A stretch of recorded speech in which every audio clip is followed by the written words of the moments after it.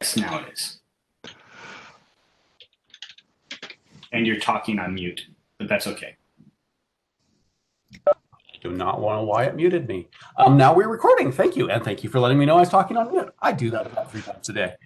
Uh, so, uh, first of all, for people who weren't here on the first one, this is an IETF session. It's covered under Note Well.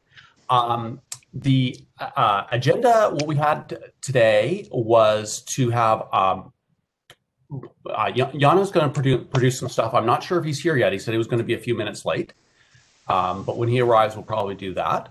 Um, Jari, completely out of the blue, without telling you, I would love it if you could present your your slide three on user behavior because it sort of fits right in here. I'll talk for a minute. But mostly, I want to run today of just having discussion around um, initially what sort of things happened with between the people trying to run applications on the internet and people trying to run the internet. Um, whatever we can talk about with that. I think there's a ton of people on this call that do have information about that type of environment and then move into sort of broader things. The issues came up, what what, what things come together. Um, I'd, I'd, prefer to have this much more of a discussion today. Um, it was great to see all the papers and presentations uh, on Monday. It was super information, and but we didn't get enough time. We didn't get the time to talk about them. So I'm hoping some of that can come up and happen today. Uh, thoughts on this agenda? Other things we should insert, remove, deal with? So uh, I, I, was just wondering if we, before, towards the end, I think we should either tee up some topics for Friday or decide we don't need Friday, um, which is either could be possible. Um, and there is one topic I think that would be good to, to cover somewhere, which is you know the part of this that was a success story. Uh, you know, if this pandemic had happened ten years ago, we would have been totally screwed. Um, whereas the internet now could can do a lot more than then. So I, I, think it might be useful to spend a few minutes reflecting on that and, and what we might want to write about that in a report or something. That that seems that makes tons of sense. Um, agreed. Um, so maybe uh, ten minutes around uh, for that around that at the end. Um, uh, sure. That could be a topic for Friday, or, or sure. We, we'll, we'll put it. Some, I'll just put it somewhere out there. You know, it's amazing internet did not die. This is great. and this actually goes back to the point that Brian raised on, on Monday. So was it all luck that we survived it or uh, was it not entirely pure luck? And I think the answer is like uh, half half. Right. So it's 50% luck, 50% um, very good engineering. Look, I, I, I having seen, I, I mean, let's talk about that in, in the main discussion part of this a bunch today. I, I, I, don't, I think there was a lot of things that were not looked at all and went amazingly well. So, um, I think it, I actually think it worked as intended. we have a vote at the end. the IAB the IAB workshop will take a vote on whether the internet's a good thing or not at the end. I mean, it's not a biased sample set at all. But there was no luck. There's been many, many years of engineering to make it resilient, and it was just a little pow. You know? well, yeah. There is a question whether, if this happened in a few years' time with current trends, uh, whether it would hold up as well in the future. If I inject something more theoretical, in the I think it's in the control theory, there is a well-defined topic called HOT, highly optimized tolerance. That says that for a given system, you can be that can be engineered uh, with high tolerance, highly optimized but highly tolerant for given um, given failure uh, phenomena of the well-known issues, but uh, will fail miserably from unexpected conditions. Um, if I can find that paper, I can send you the quote. That'd be my comment. I think that, uh, you know, with ever increasing demand on the network, the system overall has been kind of well oiled to adjust to, the surge of the traffic volume. So we, in that regard, have been doing really well. Well, look, let's jump into that when we get to the discussion part. That sounds interesting to hear about. Um, and uh, some people typing not on mute, so do mute if you're um, if you're not speaking. Um, I do not see Jana here yet. Um, it's hard for me to see all of this at the same time. So, uh, Jana, I think you're not here. So, um, Jari, would you be willing to talk about uh, your, your, slides here for a second? I'll put it up, the user behavior one of just what you guys saw and how things were shifting on the applications. Yeah, it's going to be pretty short, but okay. Sure. Can you display it from your end or? Yeah, I will. Skip the slide three then directly. So, I mean, for, for the background, the, these were slides that I made just to sort of highlight the obvious point that, that there's more to measurements than than just the sort of uh, you know congestion or not uh, question uh, or traffic amount. It's also about the uh, qualitative changes and what, what people are actually doing and what's what's happening with the, the users and applications and so forth. And um, this was research not done by me, so I'm only reporting other people's research, should be noted. Um, it was research done by Ericsson. Uh, they had interviewed, or our other group of researchers had in interviewed 11,000 people in various countries uh, throughout the world and uh, asked about many different kinds of things. And, and one of the things that they asked about was how did you, um, what, what, kind of applications were you using? So I have some measurements on, on some of those things, but I believe this one was uh, based on the questionnaires. And so um, on the x-axis is the amount of uh, user change or number of users being changed in a particular category of things. And uh, on the y-axis is the uh, actual usage uh, change. So, um, and you, you would see some obvious things, uh, not unexpected, like uh, ride hailing and travel applications were not particularly useful um, this year and then uh, remote working, e-learning, um, health applications, COVID-19 apps, and so on were uh, quite popular.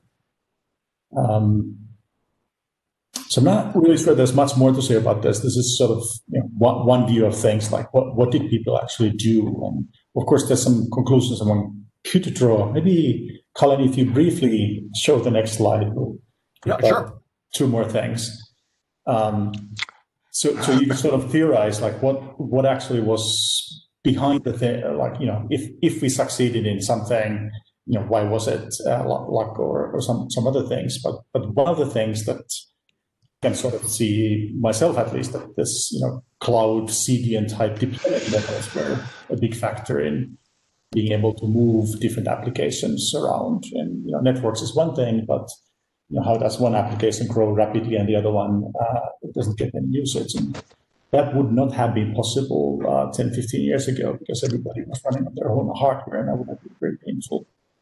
Um, should also mention that they also asked about things like uh, what um, what did they, people feel about their uh, fixed broadband or uh, mobile broadband, and relatively positive answers or, you know, is 60% positive or 75% your call.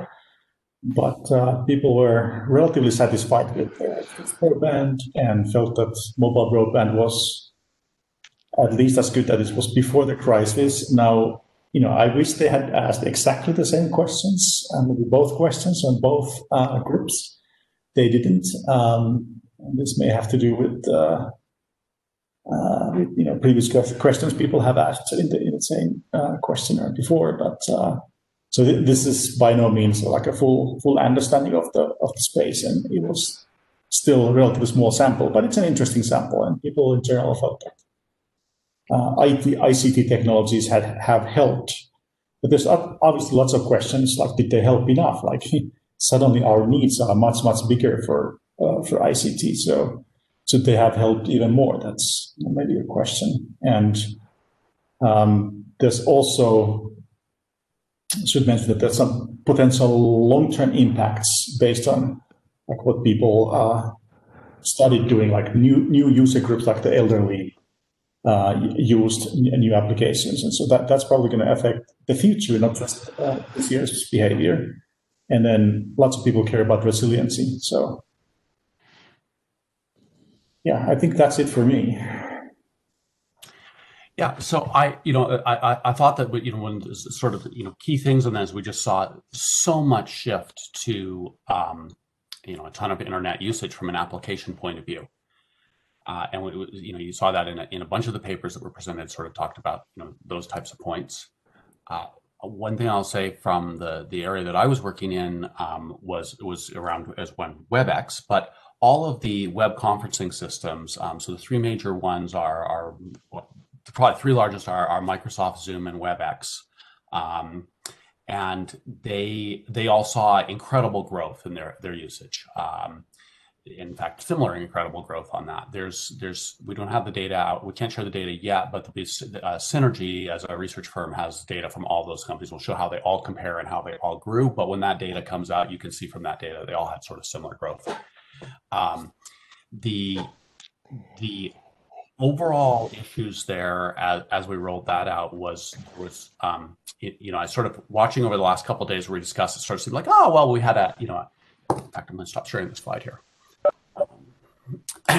we had a uh, a 15 or 20 percent improve increase in network traffic is sort of what we saw different several presentations over the last couple of days or on Monday and uh, uh, you know, that's is certainly true. Um, but I definitely, from the point of view of I think of the video conferencing vendors, um, that, that was a real problem. All kinds of places we had incredible numbers of systems that didn't have enough bandwidth, areas where we're having really uh, network performance issues. So the major video uh, providers on the internet, um, YouTube and the rest, um, I mean, they reduced their bandwidth in most locations by 25%. That made an incredible difference to everyone who was trying to do video conferencing or or um, remote learning through through these video conferencing applications. So I think there was a lot that made that happen, but I think it's well worth discussing a little bit and just reflecting on, you know, what it would take to make that to happen. And, and it had a huge impact to the, the quality, you know, to being able to deliver um, usable video conferencing systems. Now, over time, of course, people uh, extended the capacity of their networks, scaled their networks. We're now back to a situation where uh, those, those systems have gone back up to the full bit rates they were before. Um, but I think that's one of the sort of areas that uh, I'd like to talk a little bit, you know, hope we can talk a little bit more about when we get to the discussion part of this. So uh, I think um, with that, maybe I see Jana is here now, so maybe we should jump into your slides. Do you want to present your slides yourself or I can put them up if you want, but probably works better for you to move them forward. Oh, uh, thanks, Cullen. Um, I, I'm happy to do either, whichever one is more convenient. You present them all. Okay, let me do that then. Uh, just give me one second. and apologies for being late. It's a bit of an insane hour out here. uh, as you know, I don't quite know if I can do this full screen. So I'm, gonna, I'm just going to go to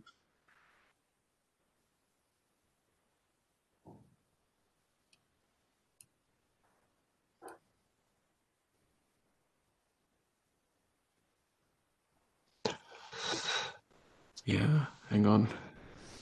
It's taking forever. I don't know if you're seeing all of my Chrome windows, aren't you? Luckily, we're only seeing the one that's in front right now. Or yeah, we them. There's one we can actually really view. So, well, uh, we'll just run with okay. run with this, I suppose. Uh, if I, I can't, I am not going to try and do better than this. Um, at any rate, I uh, thank you for giving me the opportunity to talk about these this data. I'm going to try and um, go through this uh, in about 10 to 15 minutes. Um, so at a high level, we we we monitored and we were obviously so so. Uh, uh let me start off by saying who I am. Uh, I'm Jana Iyengar. I'm a distinguished engineer at Fastly, which is an edge compute slash CDN company, we we uh, uh, so I work on networking and transport performance, and I'm part of the IETF and IRTF, and etc. etc. Uh, but more importantly, about Fastly itself, uh, we we serve a lot of traffic to customers. We serve a lot of traffic for customers to users around the world. So obviously, we were sort of at the forefront of the uh, uh a lot of the, the, the the effects of what we saw happen with COVID in terms of internet traffic. Uh, uh, and so I'm going to talk about that in these slides today. Uh, feel free to stop me as I'm going through this and ask questions. I may not be able to spend a lot of time answering them, but uh, I'll, I'll, be very happy to uh, answer them quickly if I'm able to do that then.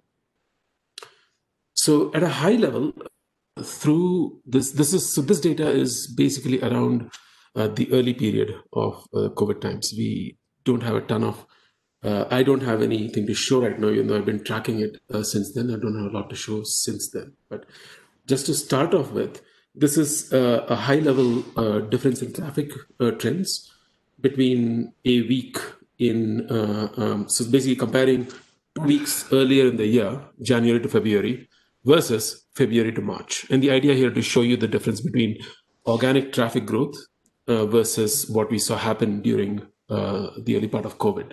And these are different verticals, uh, as they call them um, streaming, digital publishing, social media, uh, gaming, etc. And you can see that there's a significant increase, especially in digital publishing and in edtech or education technology. Uh, one can infer what uh, the, the, the, sort of natural reasons why these happen. Obviously, people were uh, going to news sites and various things a lot more, and also using as people were children were driven home, students were driven home. They were using online uh, um, uh, means of learning, such as Khan Academy and others, a lot more. Do you mind going full screen on the slides, please? Uh, I don't mind. I it didn't seem to work. Oh, there. Is this working? Ah, better. Thank you. Okay. Right. Thank you. Um. So the uh, so that's a high level analysis of just total amount of traffic that we saw increase. And now I'm going to dig a little bit into uh, uh, sort of the dynamic changes in traffic as we saw them happen through time. Um, we investigated a, a, number of things. I'm, I'm, going to limit this to just a, a, few things that we saw there. So we wanted to look at the, the sheer change in traffic volume across regions. We wanted to see how that matched up with different events that were happening. As you remember, in March, basically different countries and within the US, different states were basically doing things at different times. They would announce different things. They would announce as as COVID cases increased or changed uh, uh, in that particular region. They would have um, um, uh, shut down schools, for example. Uh, and um, you know, send people home, lockdowns, various other events that happened we were trying to see if we could see reflections of those in our traffic. And so, like I said, at first we wanted to see uh, uh, the reflections in traffic volume. And more importantly, we wanted to find out if the internet was holding up. I don't know if you remember, but around that time, again, a lot of articles around, you know, is the internet going to keep up with all of these people going home and doing everything from home? So uh, even a lot of our customers and, and, and investors and others were quite interested in this question. So we wanted to look and see what happened to internet quality, so to speak. And and for the for the geeks in the room, which is all of you, uh, this is basically uh, we were uh, what what I decided to do was to use uh, uh, TCP delivery rate from TCP info that we record at our servers uh, as a reflection of download speed. So even though the absolute number may mean something slightly different, the change in the number means uh, a lot more. And it, we expect it to track effectively what the TCP connections see as download speed to uh, to users. So what you see here as download speed in the in this in the following graphs is basically um, um, TCP delivery rate.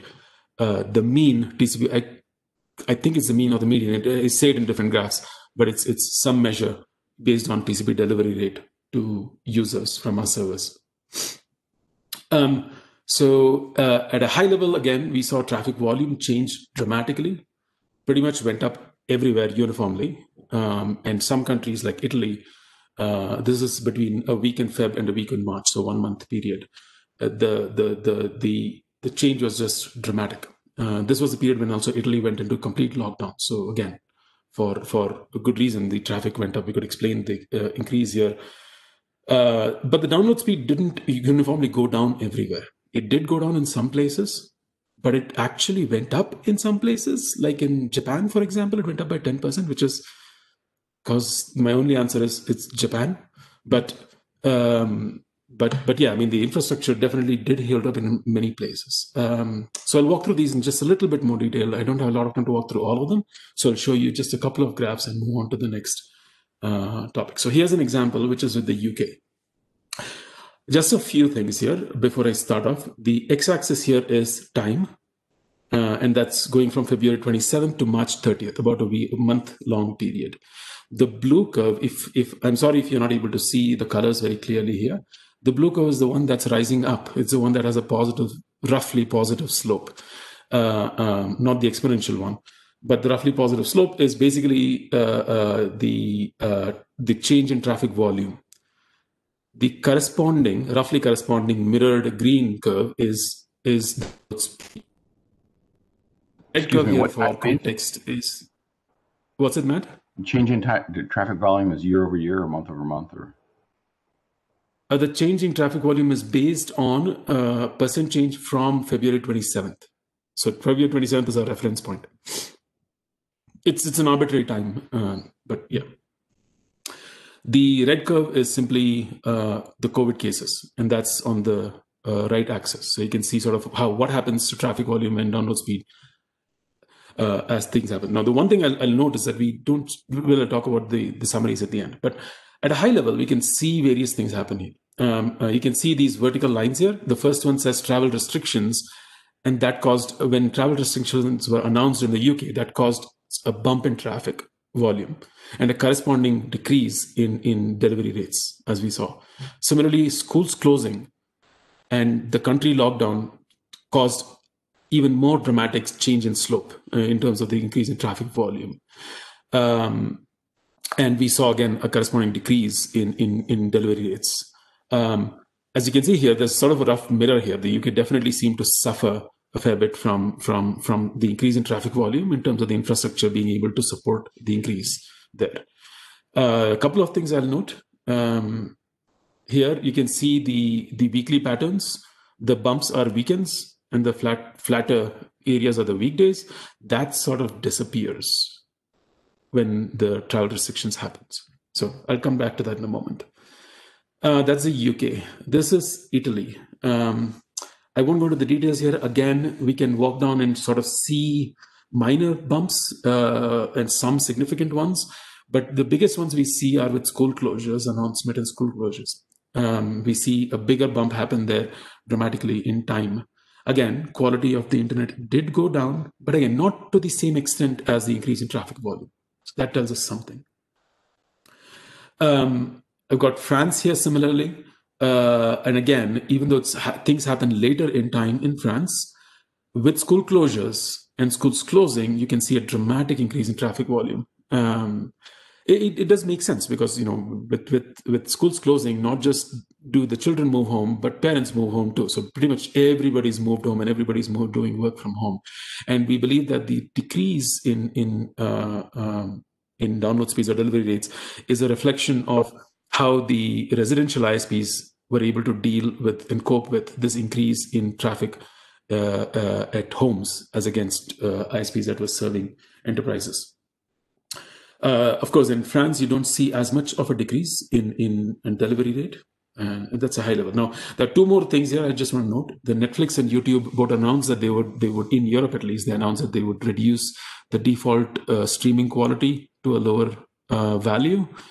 That in our in our numbers didn't seem to make much of a difference. I mean, what we would expected that to do is to have increased the delivery rate of our traffic, which is not YouTube or your Netflix, but it didn't really seem to. Um, that's true across various countries as we see them in Europe. Um, that's probably uh, just just for what it's worth. Again, I note that because I think that uh, one of one of the things I take away from that is that ABR is working well. That's all I take away from that. I don't know that Netflix and YouTube had to do anything special there. I think it just seemed to uh, adapt and work well. Um, I won't go into the the main of the countries here. Uh, Japan is Japan is a bit of an anomaly. Uh, it does see a similar sort of a loss of diurnal, uh, not diurnal, but weekly patterns in traffic. Uh, traffic volumes do increase to weekend levels, and just weekend levels remain sustained uh, we lose completely that signature of weekend weekday things. But uh, f- f- uh, I couldn't quite put my finger on it. I couldn't find anything there. But um, yeah, delivery rate actually went up, which is you know fantastic to see. I think the residential ISPs there really stepped up. Um, that's all I've got. Uh, within again within the US, it was regional, so we had to do state by state analysis, and, and you see similar things happen in the US as well. So high level takeaway from this set of graphs is that uh, traffic increases were triggered by public policy announcements. We were thinking that maybe you know one of the things we were hoping to see, or not hoping to see, but expecting to see was that as COVID rates increased, we would see people automatically shift this but it wasn't. So COVID cases didn't really reflect in traffic. What reflected in traffic were the public policy announcements, which kind of makes sense again because public policy announcements are discrete events in time. Um, and so those are the ones that we were able to see very distinctly. Uh, quality degradation, however, was more gradual. Um, as people shifted homeward, people increased their activity at home and tried to figure out, get their feet on the ground and so on. We saw track quality degradation happen.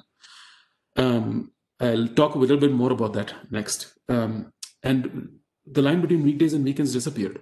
This probably reflects how what our experience has been since March. One of my uh, friends, Nick Harper, created a website uh, called March2020.date. Please go take a look at it. It tells you what the current date is in March. I think today is March 256, 2020. That's how people feel. And that's basically what uh, uh there's just been this continuity in time um, eh, that, that things have there's no the, our, our normal patterns of usage our normal usage our normal experience of time has changed quite a bit um, and uh, yeah the internet seemed to keep doing well uh, mostly thanks to elasticity and uh, i can talk about that more later as well uh, i'm going to go back to this quality degradation question very briefly uh, because we wanted to ask the question of there is some degradation we do see it um, it, we've been able to still serve traffic. Things are still doing well, but clearly there is some degradation. The question was, how do we, is this degradation equal? Are we having, how is this degradation uh, distributed? So we had to sort of uh, limit this uh, to, to US alone. Uh, I did not do this for other regions. But at a high level, the way I approached this was to, to look at uh, the US and, and divide it up into five different income regions based on uh, income per zip code. So this is five, five digit zip. And I was able to get the data from IRS uh, data in, in BigQuery and, and, and uh, um, other data that allowed me to basically figure out what the what the incomes were. I created these income uh, zones, which were informed by a few things. But basically, splitting up the US into these five zones, so to speak, allowed us to then look at delivery rate local to uh, those zones or these or these zip codes.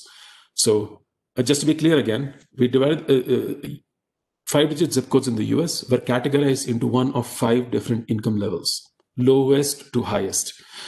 Um, and that should not be median income. That should be, I think, medium. Uh, that's a that's a typo there.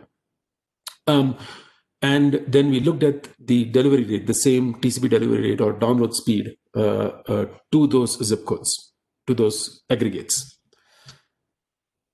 Um, and here's a high level picture of uh, median download speed within a zone or a, an income level across time. The same x axis is time, and y axis here shows you five different curves.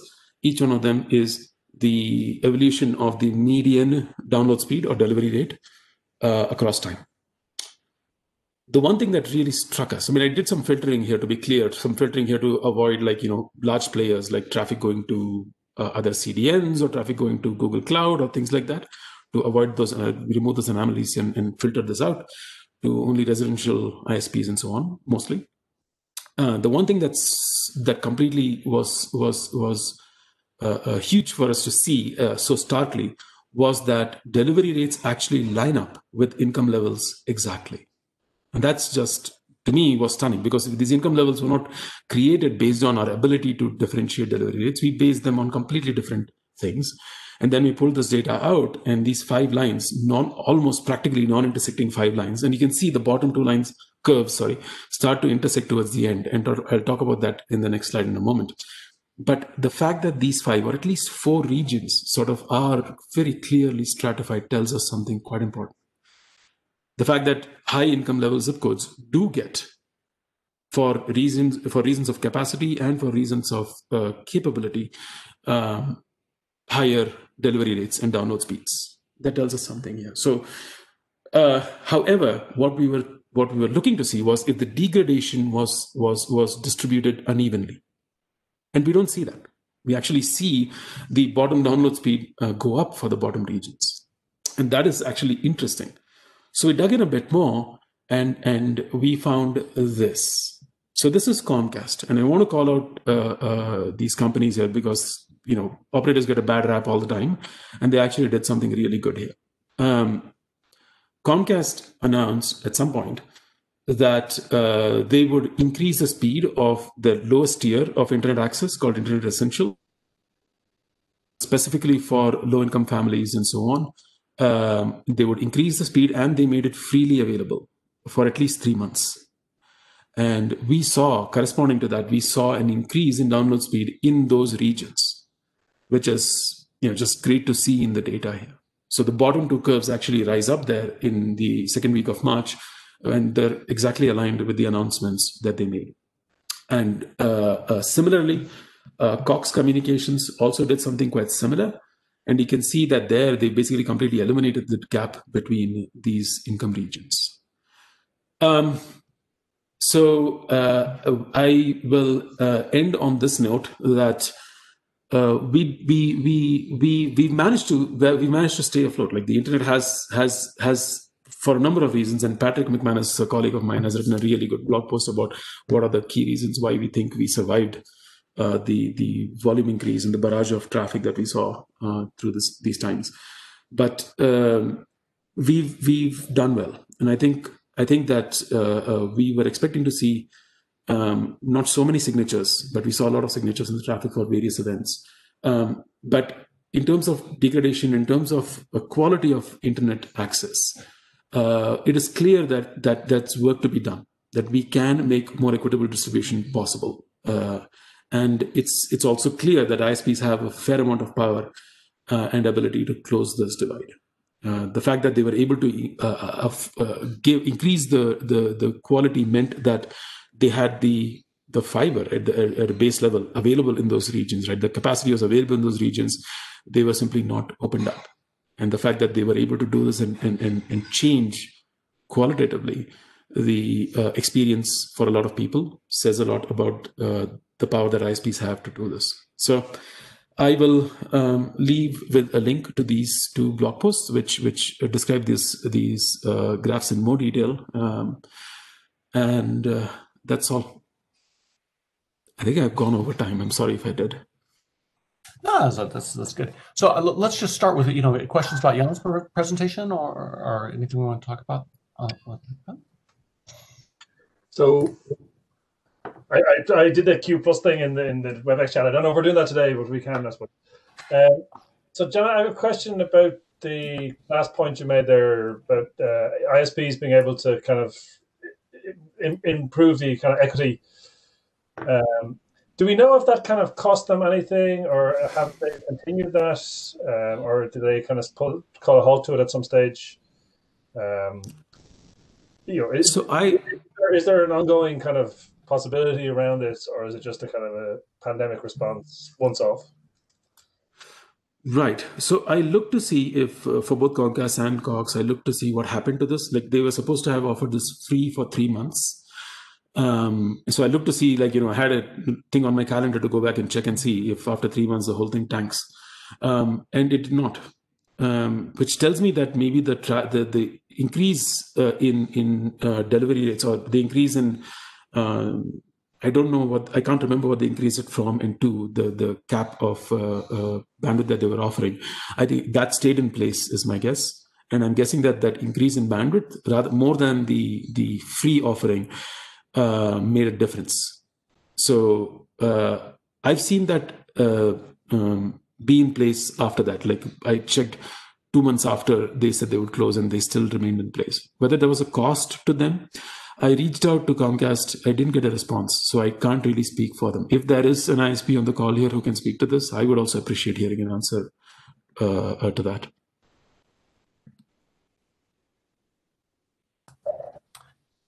Uh, Oliver? Yeah, uh, really cool stuff. Um, I was wondering, so regarding the uptake um, for the lowest income bracket, um, so could this also be an artifact of people moving from a mobile network towards residential home networks? So did you basically distinguish between the, the network type as well? I did not. In this case, I did not. Uh, although we, I did do some digging. Not in these graphs; they're not distinguished. I did look around a little bit to see mobile mm-hmm. networks were. It was weird. I mean, I'll be honest, because you know it's like suddenly traffic over mobile networks in Manhattan, uh, the the quality increased. Probably because there are very few people using it. You know, yeah. so so we saw some interesting signatures there, but nothing significant enough here to show. I think pretty much more, this data is probably going to be dominated by um, uh, by residential networks. To your question of whether there were more mobile at home, uh, I, then maybe I, I, have to admit that I didn't really deep, deep into that. Yeah, so I, I, think it would be really interesting to see uh, basically splitting this up, uh, just just looking at the residential home home part and seeing whether we see an increase there as well, or, or where it remains uh, more or less stable there. Yeah, I think one of the really nice things that one of the things I would, I would have loved to have had is uh, AS numbers with network type. yeah. Instead of going around guessing and digging in, because it doesn't, the problem of classifying ASs does not scale. I would love an automated way of doing that. Yeah, thanks.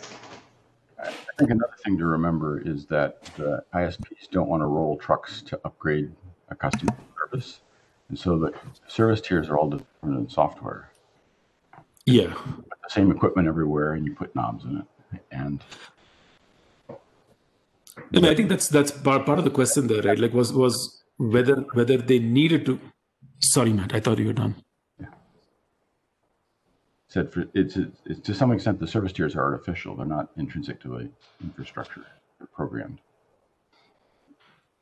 Yeah, I think the data in the in the last two graphs that I showed actually demonstrates exactly that they had to turn a knob somewhere and and things got better right which is why i think that there's there is there's capacity sitting there whether there's a cost to using that capacity that's not clear to me um, uh, andrew yeah just picking up on that point first um, Obviously, it depends what type of network you're talking about. That's absolutely true for a cable network or for a, an FTTP network. Might be a little more challenging on an XDSL network because um, a lot of the ISPs on those networks don't necessarily have different speed tiers. Um, so they don't have the same capability necessarily. Uh, and I appreciate it does vary in different markets, but certainly in some markets they won't have the ability to just turn up the tap. Um, it would require a truck roll of some description. Um, but clearly, where they where it is software defined, well, I completely agree with the point that uh, that you know then it's discretionary on the uh, uh ISP, um, and Jason will confirm offline whether there's any costs involved in, in that. Um, just a sort of second point, just to which I think covered something which uh, is either you or Jari sort of mentioned. You, you, I think you both mentioned, in fact, about Netflix uh, and others maybe degrading their sort of uh, resolution f- for a while. Some of the ISPs I talked to at the time were slightly puzzled about that because it wasn't really giving them a challenge um, so much on the, their networks. And again, I'm sure there are exceptions to that. The one thing which did cause some challenges, though, um, certainly for the European ISPs, uh, was some of the big uh, big game downloads where there were sort of, uh, sort of new versions of games coming out. Um, a lot of those tend to land um, or tended to land on Tuesdays in particular, I think, in, in Europe, which, for those of you that are not in Europe, um, at that time of year, that conflicted with some of the big sporting events, Champions League, for those of you in, in, in Europe. So on some networks, they had they, they were experiencing peak load anyway. So then getting game downloads on the same evening was causing them um, so uh, some some congestion challenges. And I think there was some discussion with the gaming industry to try and have a better coordination between ISPs and the gaming industry to avoid stressing networks unnecessarily just by picking different times or different days um, to uh, put out their, uh, their, their their latest versions of of, of the Call of Duty or whatever. Um, so mention that as I don't think that's come up before.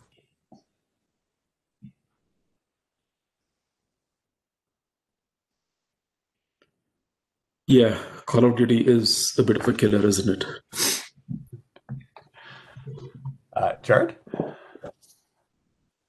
Oh, I I thought there was somebody else in between. Uh, Oh, maybe I, did I miss someone? It may have been my mess up. Evan. Andrew? No, I think I think it's you. Oh, okay, excellent. Um, so so two things. So so one, uh, wearing my Akamai hat. You know, we carried a lot of the streaming events as well as the game uh, downloads. Um, so so we definitely uh, worked with our customers. You know, so so one of the tricks of being a CDN is that your customers come to you and say, "Hey, we're releasing this game at this time." um, for download. And everybody around the world, either if they pre-purchased it or something, the consoles just start downloading the traffic. Uh, you know, you know, they'll, you know, the consoles basically have foreground and background uh, download method. So it, it really depends on how the game publisher, uh, you know, releases, uh, you know, re- re- releases it and the timing of that. And that's something which, as a CDN, you actually don't have a lot of control over because you know they release it whenever they release it um, and, and and that makes it incredibly challenging. What what happened earlier, you know, so what had there'd been a trend that started in 2019, like the tail end of 2019, with game downloads being rep, you know, kind of increasing in speed and frequency. Uh, you know, about every two to three weeks, you know, somewhere between three to four weeks, there would be a new, you know, either Call of Duty or, or you know, or whatever uh, update that would show up, and we uh, we definitely uh, were one of the network, one of the CDNs that was ser- serving a lot of that traffic, um, and so we worked together with both the the game publishing people as well as with ISPs to identify, you know, kind of a better time globally uh, to to do many of the down, you know, to do many of the download events, um, and started to, uh, you know, nudge these folks to release thing or to post them more off hours such that uh, the load would shift basically to nighttime hours when most people were uh, you know were sleeping at least for those so so that's uh, you know that's a big thing it's uh, you know there's always new gaming event downloads i'm expecting there to be many during the holiday season especially as people get new consoles and the PS5, playstation 5 comes out as well so so that's gonna you know, that's going to be really interesting. And then uh, the second thing is uh, because of the failure of broadband in my area, so I'm, I'll switch hats. I built a little fiber to the home network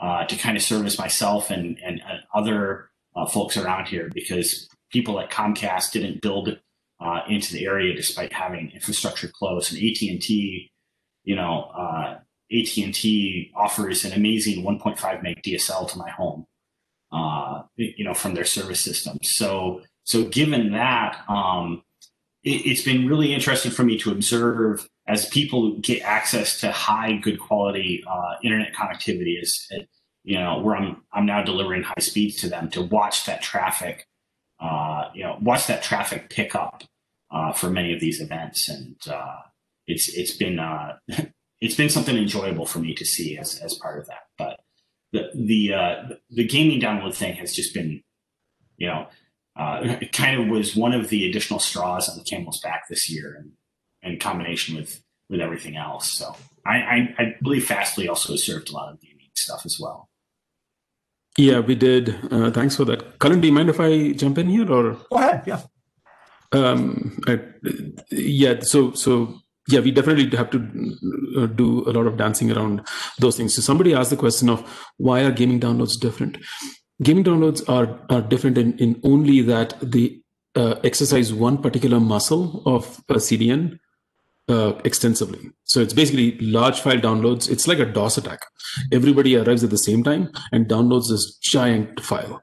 Um, so CDN's traffic is not like that normally. You know, it's all file downloads and it's all you know uh, web pages. It's usually short connections because web pages are uh, smaller pages and so on. And this is not like streaming either because the client isn't adapting.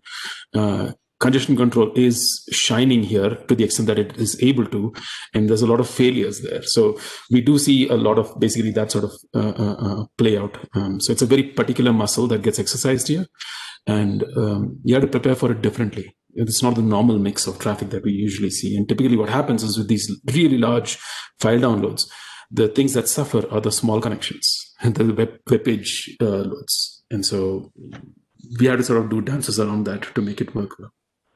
Yeah, and and just to comment a little further on that, the client behavior is really interesting of how different consoles and different systems will fetch it as one large file versus fetch it in chunks.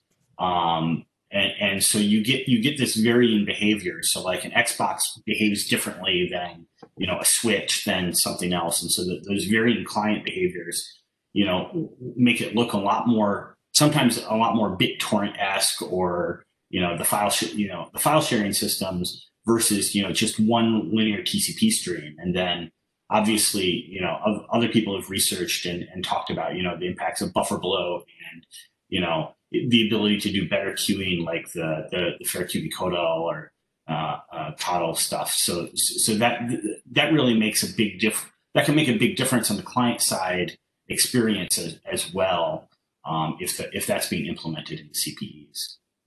But yeah, it's and like I said, and then the consoles behave differently for background download versus one where it's user user initiated, and usually usually the user initiated ones it, it you know, it tries a lot harder to download faster. So there, there's a lot of different subtle behavior differences here. So I want to jump in on the comment about the uh, about the, the, people, the networks seeing no problems. So a lot of um, when we were we were seeing a lot of problems in a lot of networks before YouTube and Netflix uh, dropped stuff. Uh, and by problems, we mean we're measuring on a time when the user experience of the video and audio was impaired in some significant user, you know, significant way, like you know, multiple seconds, uh, you, you know, per you know uh, more than a second per minute where you're where there's like significant loss or quality artifacts and all the major video conferencing providers substantially reduced their bandwidth to try and fight against that. And it just wasn't enough. It was getting to the point where people were talking about turning off video altogether, which would have really impact on remote learning. Now, when we went and talked to the network operators, they're like, was often on many cases was, no, we're not having any problems. Our network, they're looking pretty good. And we're like, it's looking pretty bad to us. And they're like, well, look at our throughput rates. They're looking fine to us. And we're like, well, look at what happens to any real time media. Like, let's set up a, a VoIP call. And it's like, oh, yeah, that does look pretty bad. So I think there was some questions measurement there. I got to say that every uh, network operator we contacted or, or talked to was amazingly awesome about working with us, trying to fix the problem, doing everything. Like, everyone just ignored the money, ignored the politics, just was like, yeah, we need to make this work for users. What can we do to make things better? So it was amazing from that point of view. And I think a lot of that came from relationships out of NANOG or um, IETF or other things where you could directly figure out a technical person to call inside of a company and they took the effort to get you to the right person who could solve your problem. So that was amazing. But I, I think we do need to, it made me think that, you know, we need better ways to understand uh, for the network operators to measure their impact on different applications, not just on the, the the the download throughput. And I, I think a lot of people did try and um, figure out what they needed to do to to keep uh, app keep the the remote learning and the web conferencing applications up. Um, so some of the traffic d- did split separately that way. Um, so I, I, you know, let's talk about that a little bit in the second session here. Of you know, what, what can we do to improve those types of things? If, if I could jump in there, Cullen, thank you for that comment. I think that's actually, I don't, I mean, I, I didn't mean to suggest that our viewport is limited. Uh, and I yeah. totally appreciate uh, your point there. We don't, we don't have any metrics on, on real time traffic, and we certainly didn't have client side uh, metrics in here. So we couldn't really tell what was happening on the client. Uh, but yeah, that point is actually uh, it's a very good point. For the longest time, at least the operators, I think the, the, the measurements are limited and being known this even for even for YouTube. Uh, oftentimes, throughput is used as a measurement of how well YouTube, for example, is doing, and that's not good enough. Um, and I've seen this time and again uh, with operators looking at what I think of as micro metrics or micro, not micro benchmarks, but they are micro metrics. Throughput is a micro metric. Your hope is that you're using that to reflect something that is, you're hoping that that reflects quality of experience at the at the user, but in a lot of cases it doesn't. And look, I mean, it'd be a great thing if we came out of this going like the hard things are, you know, classic web page usage, our da- games download, our, uh, you know, video conferencing. Our, like we came up with a list of things and, and, figured out different types of metrics for them. So anyway, I want to stop. I want to over, hand over to Anant here. Um, hey, yeah, thanks. Um, so quick question for Jana, and I think Jared touched a bit on this. So I was looking at the same data uh, from another CDN side, the TCP info data. Uh, but instead of delivery delivery data, I was looking at RTT and retransmits, um, and I it, there was the difference that was previously mentioned. Like the wireless providers seem to have kept up well um, than uh, the wired. But one interesting thing that at least I saw in some of the data that I looked at was I saw more fluctuations in RTT than retransmits. Uh, and I wonder if you guys saw that too, and what does that kind of mean in terms of deep buffers and the games we play with congestion control from the CDN side? Uh, and how could that impact going forward when we see these things and what can we do to like tune down some of those uh, parameters uh, if we know that there are more deep buffers out there than we think there are? Jana, did you have any comments on that? Um, I did look at RTT and uh, and I I, would love to look at your data uh, at a high level, though. To your point of what can we do, I don't know that we can really. Uh, uh, uh congestion control is evolving ultimately, and we know that we want to uh, we want to reduce these variations in round trip time. Um, but at uh, times of times of deep congestion, we are likely to we are going to see those sorts of variations. Um, where there are buffers, we will see them. And there are deep buffers. I think your question was, what do we do about the, the, the cases where there are potentially deep buffers, right? Right. And in, in such cases, for example, like just using BBR V1, probably not the best approach, right? Um, things like that. Um, and I think it might be hard to like share the data, but having like a community kind of like guidelines and a little bit thought process around um, just like how video providers will easily be able to jump in and reduce their bit rates, um, arguably that may or may not have affect much because ABR was working pretty well. Uh, what can CDNs do to either uh, slow down uh, things that they can control, like file downloads and the request for game downloads is not something that we can control.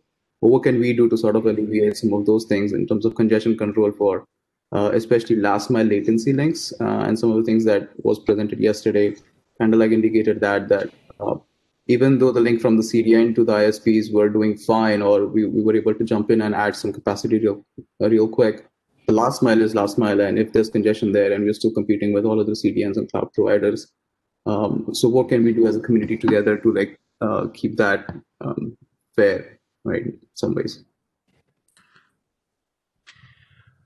Look, we got a bit over here, so let's take a quick five minute break, and we come back. We've got on, on let's see, Andra and Jari on the queue. Um, and then we can continue on with it and move the discussion over towards towards making it better after that. Does that sound good, people? See you in five.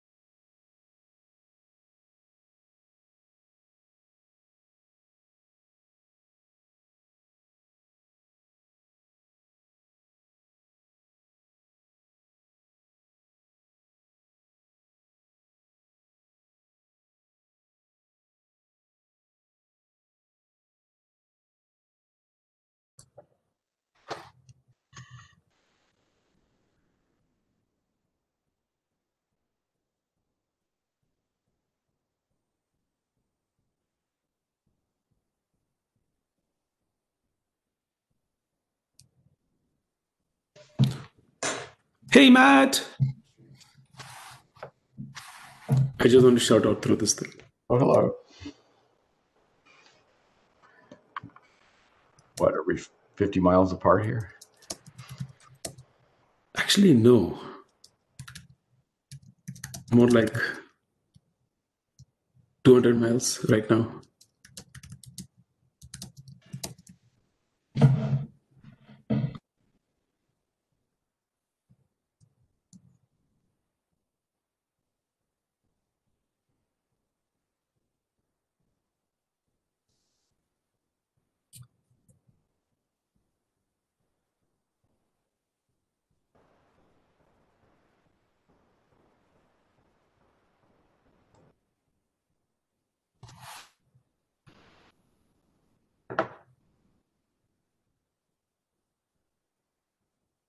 Think we're technically at five minutes, but I mean, I don't know whether no one really believes my five minutes. We should just start. Or... I think you should force people to turn their videos on. This is what my kids' teachers do, anyways. You can't, unfortunately. Jana, it's much brighter there than it was 30 minutes ago. Well, you know, the sun has a way of doing uh-huh. things. yeah, I, I feel similarly in my head, by the way. Much brighter than 30 minutes ago. Indeed. I'm looking forward to starts at 6 a.m. every morning tomorrow, uh, next week.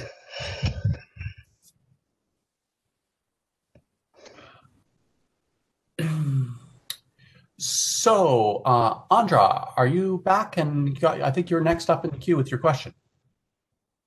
Yeah, I'm back. Can you guys hear me? We can. Thanks. Yeah, great. Yeah, so thanks so much for for for the awesome analysis. I think that was that was amazing. And I just had a few questions for for specifically for the analysis uh, you showed for the UK because we looked at you know one of our operators um, uh, in, in the well at O2 in the UK, and I was just wondering if we could contrast a little bit what you showed there in terms in terms of um, the decrease in in the throughput uh, measurements that you had um, and the increase of the, the traffic and whether you actually broke down the analysis for mobile users and residential users. So this was the question that we got yesterday, whether we can observe this waterbed effect um, with the decrease in, you know, in the download, download downlink volumes of traffic that we have seen in O2 with the increase um, in the residential use. And also, you know, I think it was very nice to see the breakdown on on the um, uh, on the on the US analysis. But I was also wondering if the same analysis would be interesting for the UK on on the breakdown of uh, revenues for different people, different regions, um, because we actually did look at you know um, the census based information that we got. I mean, this was okay, this was the census in like 2011 because the next one is supposed to happen next year. Um, but we did see quite interesting dynamics there. So a lot of the people actually moved from London. They went to different, you know, to areas where, um, um, like marked, you know, suburb suburban or areas that were marked, um, you know, um, rural or actually low income. It's actually a, a group where it's uh, they're it's called uh, challenged. Um, um, I don't really remember the actual name right now. Um, but yeah, I think it, it would be very interesting to, to contrast this and to, to look at you know the analysis from the point of view of the actual operator with the analysis from from your point of view. So I'm just wondering if that's of interest. If you could comment on that and know, if you could,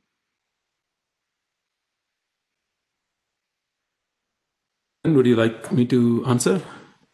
Uh, yeah, please. Thank you. yeah. Uh, I'm asking Cullen if I don't know what. Oh yeah, what no, go ahead. you- Yeah, sure. Uh, Yeah, I'm just just yeah, give us a quick answer.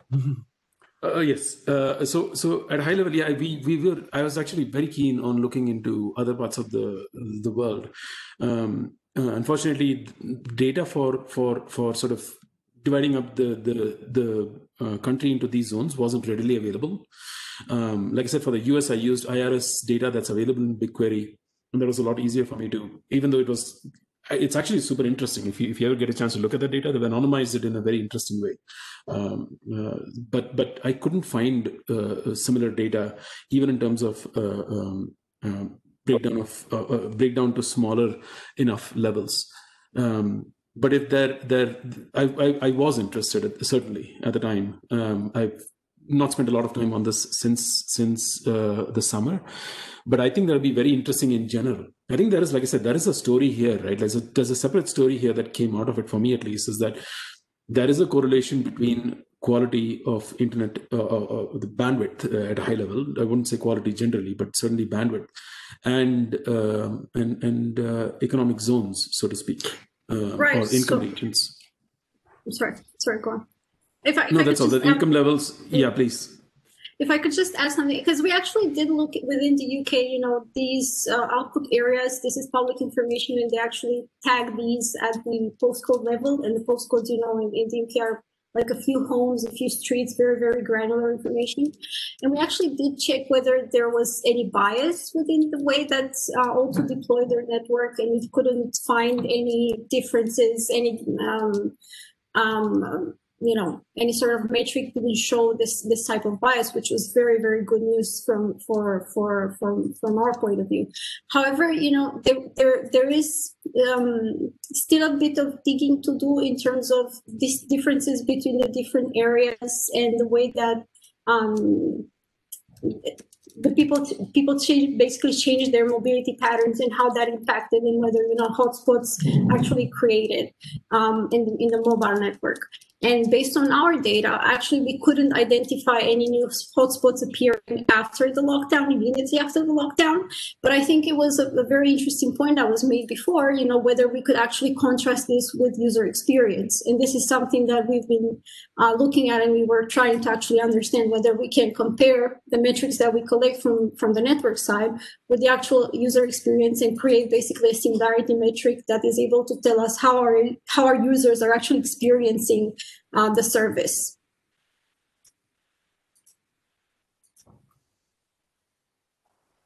Yeah, I, I'd definitely be interested in looking at this more uh, if there was more data. I, I honestly I didn't dig in, and that's all I've got there. But I think there's definitely interesting stuff to look into here, uh, especially for operators. Um, I would say that at a high level, the, the, the things that one one should be careful to look at is is is you want to look at some notion of per capita.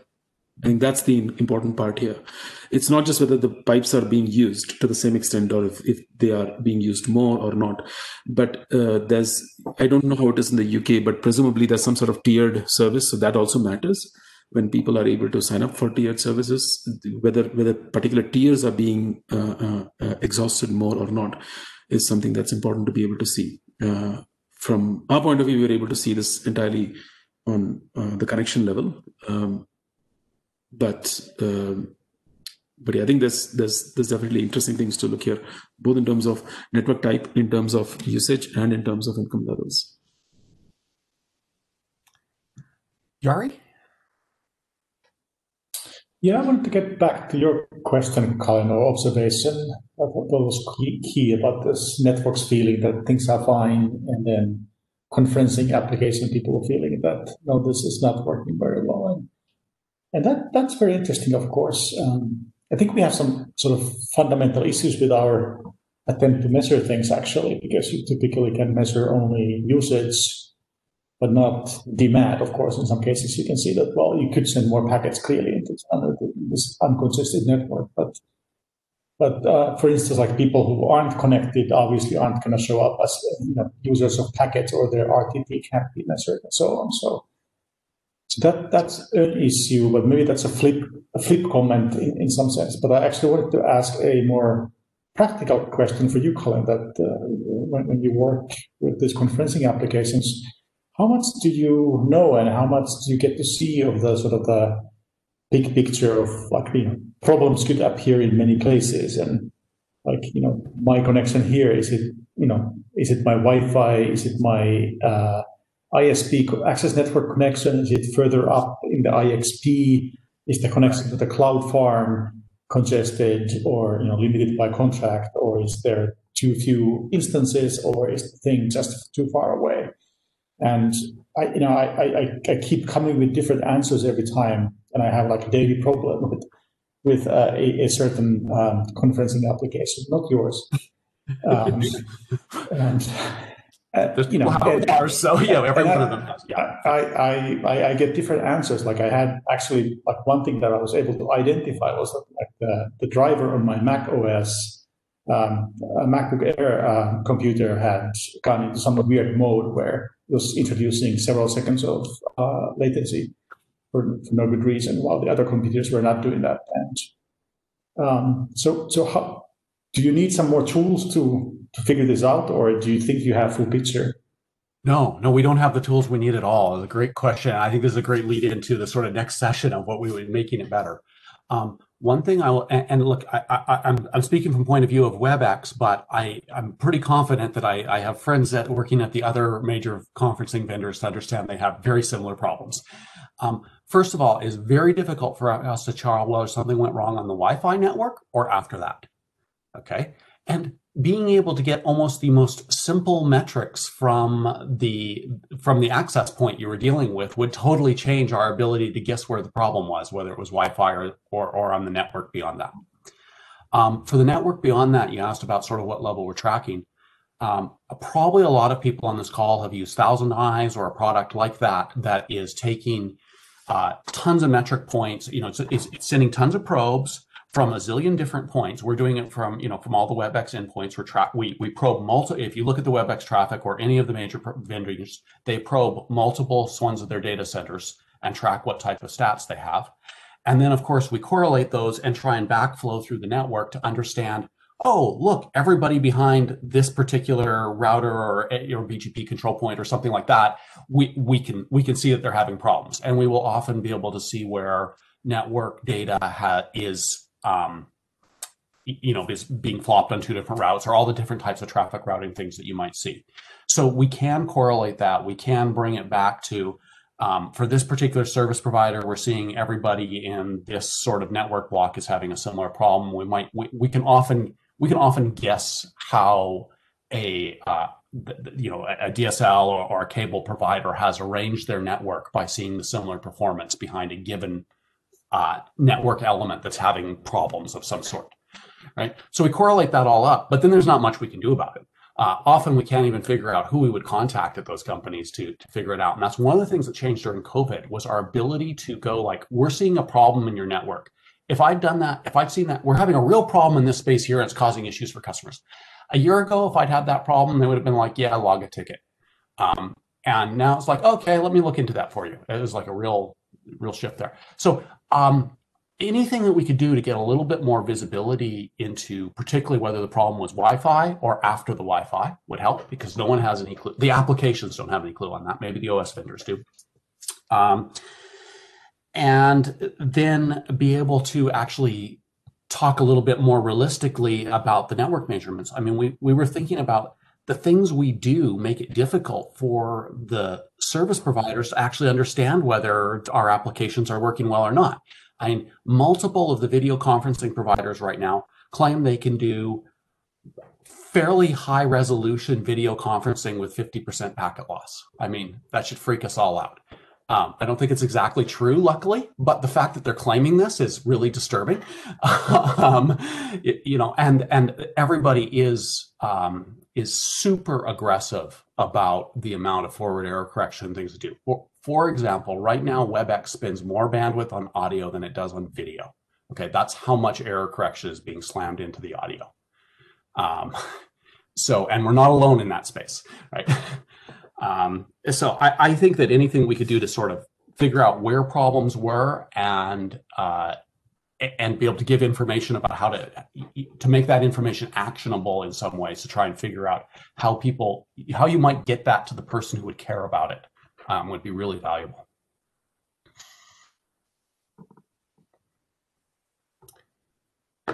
Uh, I think if I haven't lost track of the queue, I would say uh, uh, Jan is on it again next. yeah, Karan, you. I just want a clarification of what you just said. Did you? Did I hear you right? Maybe I didn't. Did you say that you're spending more bandwidth on audio than on video? Yep, that's what I said. I know, sort of. That I'm digesting that. so, uh, if I can, because that, I mean, that surprised me for a second when I heard it, and then I then it unsurprised me just because like the the tolerance of audio failure is way less than the tolerance of video failure for for good QoE, right? Like so, if you're pixelated, who cares? But you know, if you said launch the missiles, then that's a problem. Um, so the this actually lines up with some some QoE you know issues I've had on various conferencing platforms, not yours. Um, uh, with respect to like actually keeping the latency in sync, right? Like, so I've seen the the big thing that I ran into on one unnamed provider as soon as like COVID went bad was I got up to like half a second of desync from the video and the audio. Um, and I'm guessing that was so. Thank you for explaining what caused that to happen. Um, I mean, it's just the, the, the FEC buffer is just huge, right? I mean, yeah, I, I mean, and, and everyone's gone to that. And and look, I'm not arguing that's a good plan that we're doing that either. I, I disagree with it in many ways. But when when people are like, well, what, what when you have a set of engineers that are, let's say, engineers are not deeply involved in network control who, who are given the problem, make this work with 50% packet loss. Guess what they would do? Yeah, that's what they did. Well, and and and therefore therefore uh, ended up with seventy percent packet loss. But exactly, but, but, yes. and now the challenge was how do you make it work at seventy percent packet loss? And there we go, chasing our tail again.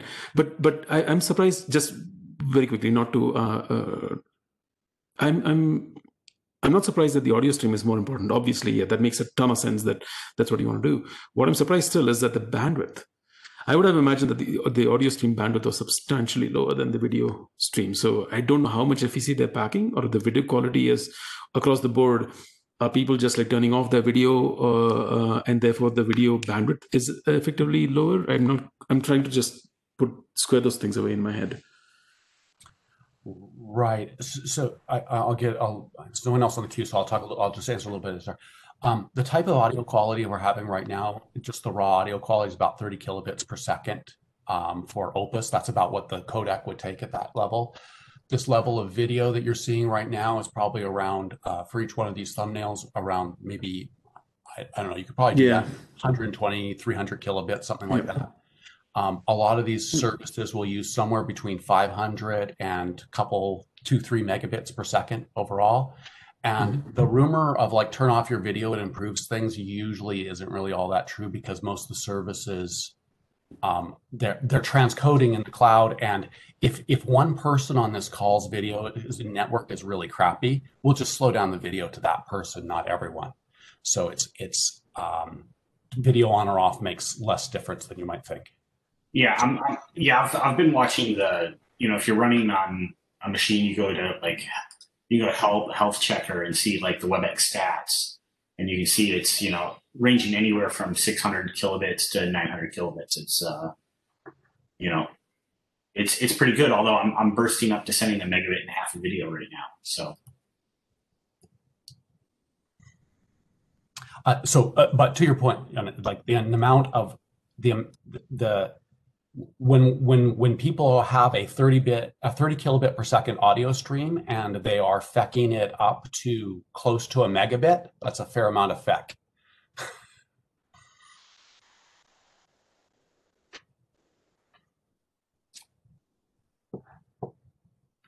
so that's in queue did you? Uh, what i mean this gets really questions of like look we're, we're going to run out of time here soon um, you know, what are some of the big issues that came up overall? Not just these video conferencing programs. I'm, I'm happy to talk about my problems all day. Um, and uh, you know, what are some things that we could do to improve stuff? I mean, let's uh, you know, jump on the queue and give us your ten. You know, let's hear from some people we haven't heard from here. I wanted to make an observation that I first noticed um, decades ago, and that is there's a human control system, which is um, there's a always some heavy high intensity, high resource consumptive service that's also sensitive to usage. And people don't do or don't use it according to whether or not how well the internet performs. And that makes space for all the smaller services. And you know, turning off 4K video, for instance, just makes perfect sense. And one 4K video session is a significant number of other other other users. Um, and you need to remember that companies like Google and Netflix, we also have other our own users doing other things, and we don't want to interfere with their own traffic. So it makes perfect sense. The other cases, Google has turned down YouTube, for instance, when there has been earthquakes severing multiple transoceanic cables, and just turn it off because um, it makes space. Um, the other thing I wanted to observe is there's a there's a wonderful story. I don't want to tell it in full, but I'll, I'll give you the punchline now. Several decades ago, there was one month somebody saw a lot of traffic in the unknown port category in an IDS system. It was port 80. And the doubling time for that traffic was six months.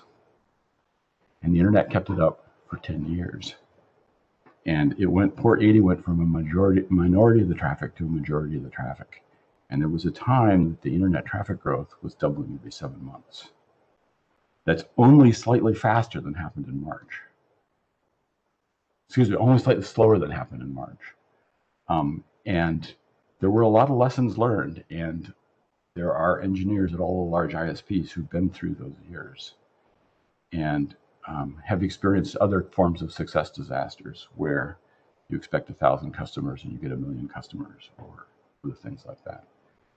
Um, the pouring concrete and pulling conduit are slow and, and um, can't be hurried much, but turning up equipment can be done much more quickly.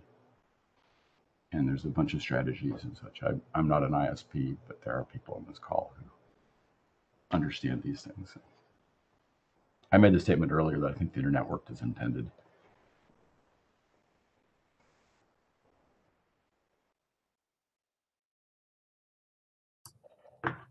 So, Kirsty, you brought up the topic of security impacts on the network. You want to talk about those a bit? Yeah, thank you. Uh, I just wanted to talk because we've talked a lot about like observations and stuff, and obviously in the UK NCSC's, we have a security specific viewpoint. Um, and so, yeah, I suppose more than just kind of shifting to home working generally, where obviously there are new uh, types of attacks you can get, new footholds, a lot of IT departments rolling out new equipment quite rapidly. A lot of them using VPN access and stuff for the first time, um, some vulnerabilities in those VPNs and stuff. There's obviously quite a big shift just in terms of home working. Um, but we also saw, because of the COVID specific aspect, that because there was a global pandemic on, um, the users that we would see using a network would be different in terms of their security posture, in terms of their kind of awareness, and even quite sophisticated users were generally a bit more vulnerable in a pandemic situation. So a bit more um, isolated or a bit more eager for, for news. Um, so just kind of a, a difference really in, in terms of how um, vulnerable users were to manipulative techniques um, like scams, fraud, and that kind of stuff. So I suppose um, for us, the network impacts, you know, generally there was a real, we talk about the, the capacity build and the speeds and the volumes and the internet's ability to cope with that. I, I think that's all excellent, like I really do. And that's just testament to the years and years of work that's gone into this. And like you said, those industry relationships spinning up and being quite agile and how we worked. Um, from the security side of things, I think we just saw a huge spike in fraud and scams related to COVID um, and a whole new set of attacker behavior to, to combat, including new targets like vaccine laboratories and stuff to protect, um, and as well as this like big shift to home working and, and VPN um, spin ups and stuff like this. So um, I just I suppose the network impact like for, COVID from our point of view um, was just really this huge um, new security effort that was needed. And the security industry is always quite agile. We're, we're always sharing and kind of thinking about the greater good and um, you know sharing any attack techniques that we find and uh, ways that people can defend through indicators of compromise as a common technique. One thing um, that the NCSC did specifically was to start um, launch our suspicious email reporting service. So a lot of people were getting an initial phish um, through email, and uh, it would be something like you know tax rebate for for COVID or whatever, or you know all the sort of government schemes that were going on, and um, recognizing the way that users were more vulnerable um, generally, and some may be more likely to click than in a normal non-pandemic time Um, this service, the idea is that people can report it, so more advanced users can report it, and then those sites can be taken down um, where they are malicious, so that it's protecting kind of the herd. It's like this herd immunity kind of thing. Um, and so yeah, so that's one initiative that we we started, but that's obviously quite a low level manual intervention. And so I suppose just as an open question, like would would that work as well if if there was another kind of pandemic or another kind of situation like like we're experiencing now, um, as people shift to home working, you know, were there lessons that we could have taken from the security impact? Um, I know that a lot of people kind of rolled out their their enterprise infrastructure quickly and uh, yeah, it was just just a whole new set of things com- coming out that maybe we could just look at a bit um, from a security point of view. It's kind of what I wanted to start a discussion on. I don't know um, if anyone else experienced similar things. So, so look, I, am just gonna, it, Stephen, can you just jump the queue and ask your question for to, to Kirsty here, and then I'll then I'll get back onto the proper order of the queue. Oh, sure. Yeah, Kirsty, I was just wondering. Um, do, do we have evidence of, of the of an increase in fraud attempts or whether what happened was displacement of people trying to to attempt fraud via other cover mechanisms towards attempting to use COVID as a cover for their fraud. So your question is like, does the total number of attacks increase, or was it just roughly the same level of attacks, but more people using COVID as a cover? Yeah, yeah, about fraud. Okay, for fraud. Yeah, so we saw, I mean, we can speak to like government experience there because um, we obviously protect like government domains and government brands. So where there are things like uh, tax, people saying, oh, it's the tax office, you know, you're due a rebate. Um, we can speak to that. So we saw a spike um, for government domains being used, um, into, like for, yeah, particularly for fraud, um, using COVID as a, as a cover. And um, part of that, I think, is that we already take, have taken down quite a lot of existing fraud sites that make use of kind of government brands. Um, comes under copyright actually, which is quite amusing. Um, but yes, so no, I don't, I don't know if the total number of fraud attempts um, increased, but just I do know there was a pivot that we were discovering new indica- indicators of compromise all related to COVID. So one statistic that we put out in our annual review um, was that we supplied 51,000 indicators of compromise to the NHS that were in our COVID response. Um, so yeah, a lot of them are kind of the domains of things, you know, like uh, yeah, all, all coronavirus or COVID 19 related.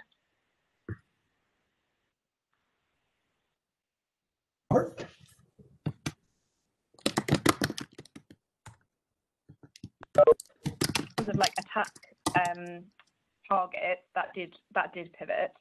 Um, so we saw attacks on areas that we've never seen attacks on before, like vaccine research institutes, um, increased pressure on NHS and other those kind of health centre centric sectors.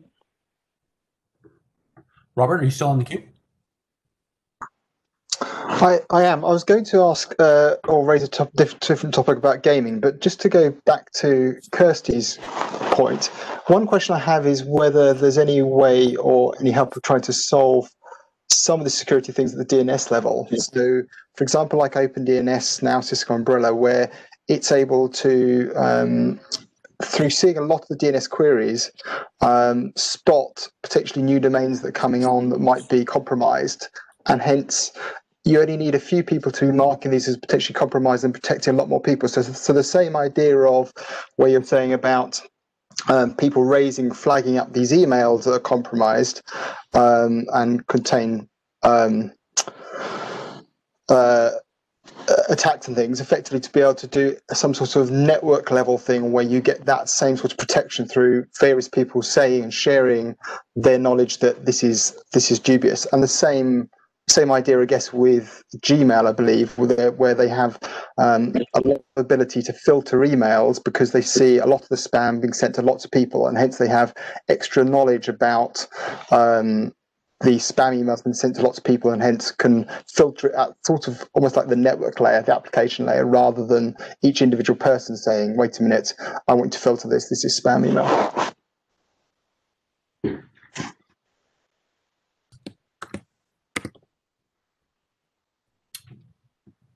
Shall I shall I answer that? The, Sure. If you got a quick comment on replying to that, yeah, go for it. Anna.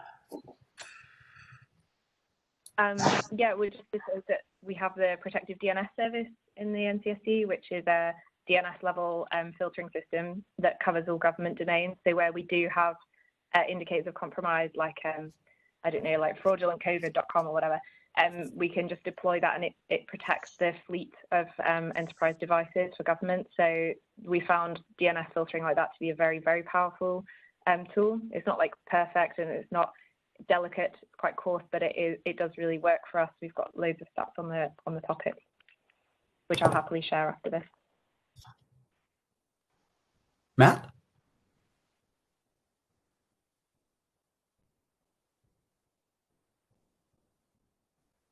Oh, sorry. Maybe I, misunderstood somebody's plus one back there. Okay. Um, Lixia, I think it's you. Next. Okay. Um, I think my comment is somewhat different, but let me try it anyway. So uh, regarding security, I'm uh, actually my observation is mostly about the application level security. As everyone knows, uh, at the very beginning of the COVID, when uh, we moved to online teaching, there was a huge surge about the Zoom bombing. You know, this whatever people attacked the Zoom. Uh, but uh, that was during our spring quarter teaching. So the when when we started the fall quarter uh, back in August, uh, no, August, October, just when I was writing the submission of white paper to this workshop. On that same day, the original deadline, we got another uh, pledge from the campus warning us that there is a huge Zoom bombing again coming in. So at this time, I think I didn't hear from others as a serious problem. It was a problem at UCLA. And uh, this is kind of uh, anecdotes plus speculation. UCLA is, you know, bigger campus. We teach kind of different things from foreign languages to the performing arts. Uh, I'm pretty sure there's some faculties that are not really know the the use or safe use of networking that well so that uh, um, for those people they might not have good uh, precautions or practice best practices handling their issues the online life. But uh, previously whatever they do is only affected themselves. But now everyone actually performing their job online and their lack of understanding of security brought up the big issues so I, I in my submission we raised the question who is ultimately responsible for application security uh, are we expecting every single human being that everyone will be online to get security training to pick the strong password? Is that where we're expecting 10 years down the road to secure applications? Or this actually is a fundamental problem here that's tech that requires technical solutions? Uh, that is my uh, first comment. There's a second comment. I just want to mention it. Zoom is not a stranger to us. You know, I've been using Zoom for uh, online master program for six years or five years, some long time, and nobody cared about uh, attacking it until it became the, the first line of tools for uh, home networking, maybe for home working. I wonder whether the other tools just lying there and their security vulnerabilities were now are not known until when they they become first line applications and that is my big worry as i see zoom as an example i'm done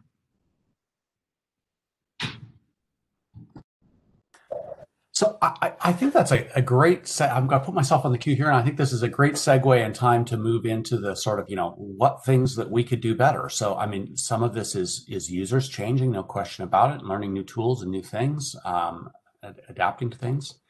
Um, but I think some of it too, like to answer your question about passwords there. I mean, you, you know, from a technical point of view, one of the things that we could do is is build our is is figure out how to make it possible to not have passwords.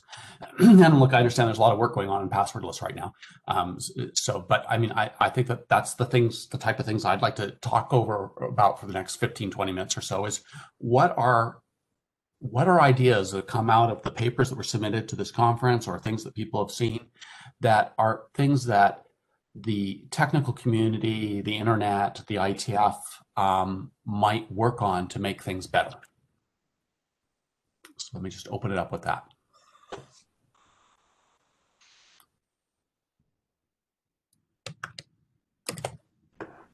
Uh, let's see. I've lost track of. There's my cue. okay, um, Jana. Thank you, Cullen. Um, so this is something that I've been thinking about for a little while, but but it's become more even more pressing in these days. I'll be quick. At a high level, one of the big things that we're missing, and I think we t- you touched on this earlier, is about observability. Um, we all have our own little lenses through which to see the internet, but we don't have a good understanding of what uh, the overall thing from a user's perspective is. We all have, again, only those who run client applications have that, but they don't know what's happening in the network, for instance. Um, this has always been true. This has always been true because uh, uh, uh, when people run experiments, for example, if an operator runs an experiment, they look at their own little benchmarks to figure out whether the experiment is changing things or not. All the while, the metrics they're using may not or may have inverse correlations with quality of service from the quality of experience of the the the user. Um, we've seen this in the past. Uh, this particularly has been true with uh, uh, with middle boxes that that that terminate TCP connections. That's just one example. Um, that uh, oftentimes are are bought and sold because they seemingly improve uh, usage of network uh, at an operator. At the same time, um, I'm familiar with some experiments that actually tried that demonstrated that that video streaming quality of experience increased by over 10% when they bypassed some of these boxes that an operator had deployed. Um, so there's there's there's a huge there's a huge uh, um, um, sort of sort of a mismatch, right? Operators and and endpoints, clients, servers. There are at least three, maybe more parties that have uh, different viewports into this world they have different incentives. Of course, I don't know how we can align all the incentives together, but at a minimum, if we can get observability, I don't know how to do how to solve this problem. It's and it's not a small problem. I I, I I don't think it's a small problem, anyways. But if there's a way for us to understand how end to end things uh, uh, are affected, in these days in particular, especially through COVID, it would have been super useful. Um, but that's something we're missing we're missing except for when people like us some of us get together and sort of share our data with each other that's the only way we know um, it'd be a lot nicer to be able to do this more broadly and programmatically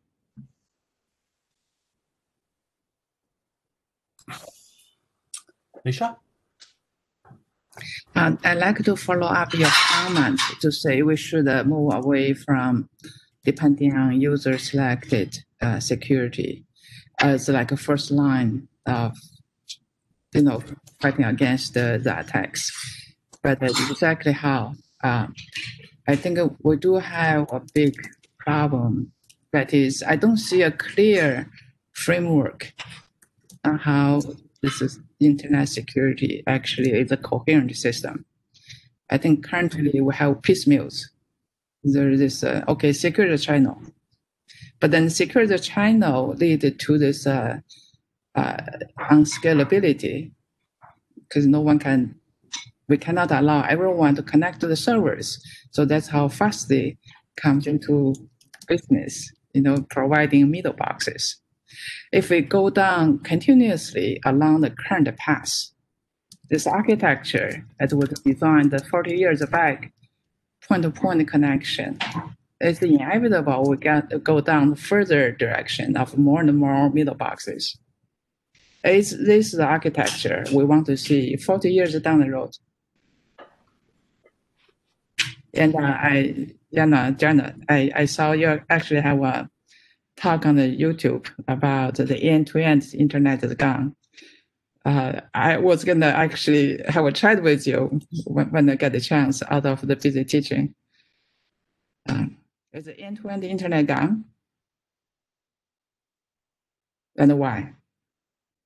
I think it's a big architecture question, and IAB should take it on.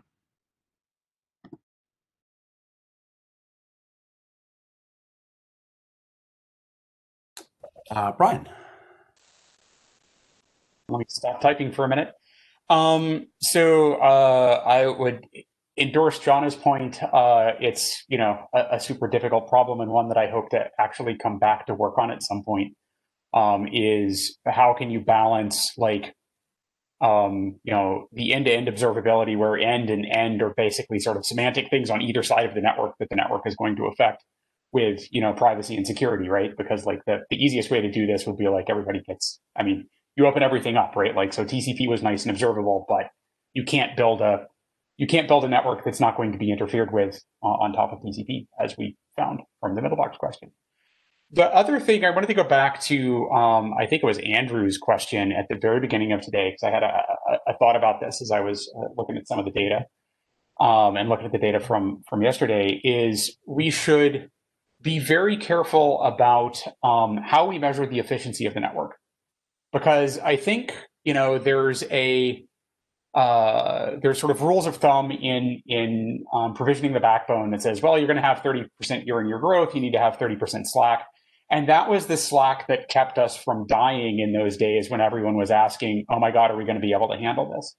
Um, if you look at some of the work in data center networking, if you look at some of the work like in, in software defined uh, internetworking, one of the the hopes that that that work rests on is that better control will allow us to get rid of these these overheads uh, in the network um, because we'll just be able to run things hotter. Um, like you know taking you know taking experience from data center networks which run significantly hotter uh, than the public internet does. Uh, and it it um, you know we can't actually say how much of a safety um, safety margin we need in order to be able to pull off something like oh another covid. Um, but observability would get us the numbers where we know like what the difference is between safe efficiency and unsafe efficiency. Now i don't i don't see like you know, even as the the co-chair of the Path-Aware Networking Research Group, I don't actually see sort of these technologies being deployed in the internet uh, at some point where the efficiency would significantly threaten um, sort of the resiliency of the network, but it's something to keep in mind.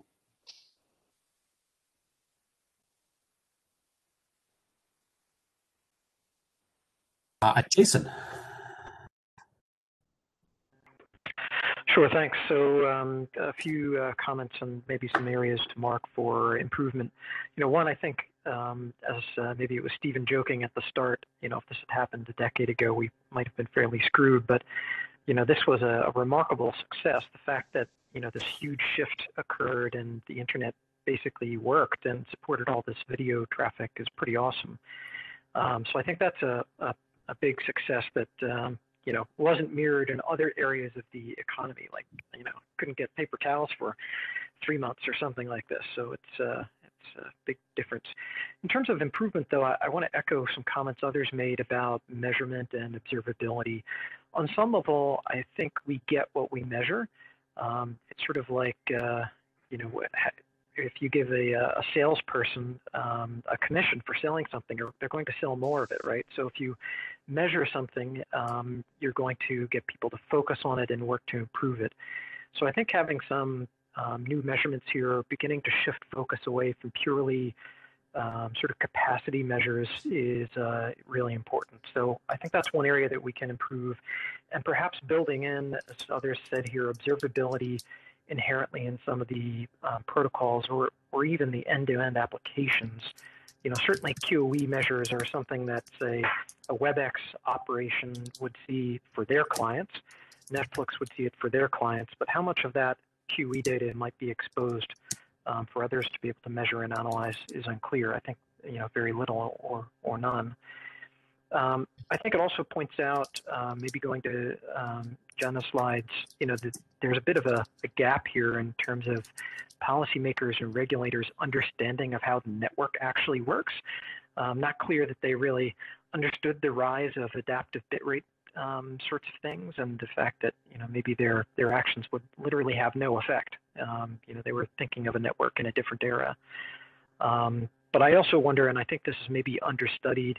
I think maybe more sort of economic analysis has to occur to see you know why wasn't there additional capacity freed up in those markets? Is there a structural difference in the way that capacity investments are made or incented? Um, so some of that, you know, is probably something for uh, maybe economists to study. And then the last comment is, I do think that there are probably, Cullen, to your point about forward error correction, some what might seem very nuanced points of feedback that need to occur, but but very important ones. So I feel like we're missing a feedback loop. You know, if we if you thought of like we're all one global DevOps team, right? We still have this split between some architects someplace and people operating. And it seems like there's this feedback loop that's missing uh, back to some of the, the app developers that are maybe overusing things. And it reminds me a little bit of a few years ago when, you know, uh, maybe uh, chipset vendors were building in huge buffers. And we were like, no, why are you doing that? Like, stop giving me three second or five second buffers. Like, that's counterproductive. So I feel like we have to find those feedback loops that are missing and help close that loop um, as we have everybody from across the ecosystem here. Thanks. That's a great comment. Hope those all made it to the notes. Uh, Robert, you want to talk, bring us back to gaming a bit, and then I think after that we'll go over to what next. Uh, well, maybe these are what next uh, comments. So on the gaming, uh, so one question I had um, for Jana was was whether the pressures he was having were ones at the network layer or on the servers for when they're handling these large downloads of of new games and things.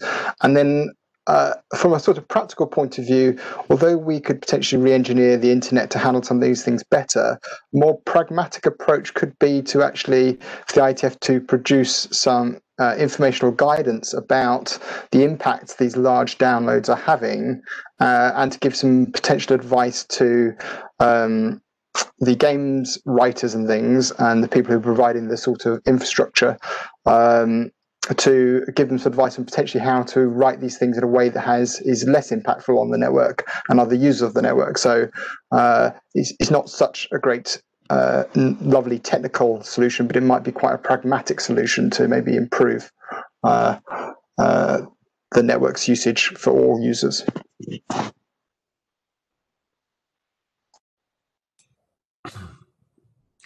Makes sense. So, look, I want to switch to a different thing here. I want to uh, tee up Stephen, Stephen for a second to talk about what do we want to do on Friday. Um, we didn't really get too much to the topic today of, wow, it's amazing the internet didn't die. What you know, this this went great. We should probably talk a little bit more about that. But I think there's probably some other things we should talk about on Friday. Um, Stephen, what do you want to say about this? Let's let's start there. I think Maria was in the queue, so I don't know if you if you first and then finish off by talking about Friday.